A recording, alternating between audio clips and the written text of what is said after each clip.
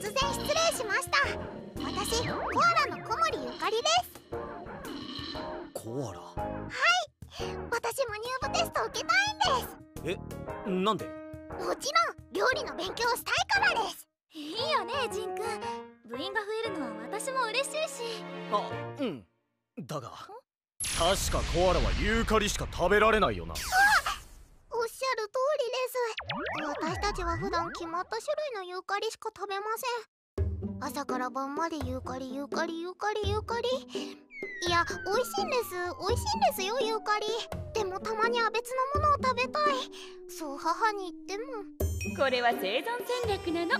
の一点張りで。このままじゃ私一生同じユーカリ食べ続けるんですよ。それはちょっと辛いかも。それで他の味を求めて料理部に？違います探しているんです。昔食べた。幻の料理を。グルメ漫画か。たら物心つく前のことでそれがどんなものか思い出せなくて。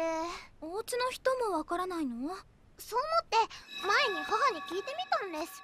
そしたらなんでそんなこと聞くの？なぜか教えてくれないんですわかったわかった。お前も入部テストを？ありがとうございま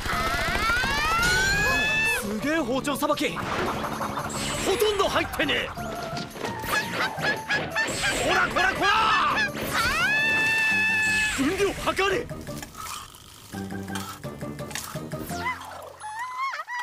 めちゃくちゃ腰引けてんぞ。火が怖いんだね。ゆかり特製ユーカリパスタです。結局ユーカリかよまさか。